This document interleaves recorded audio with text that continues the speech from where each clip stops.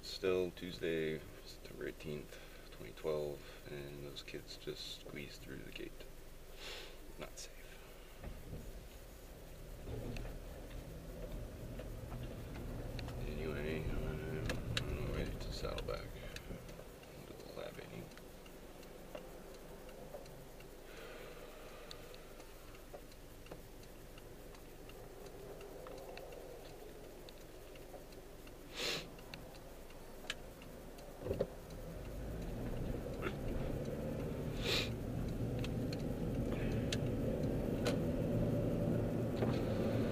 えっ?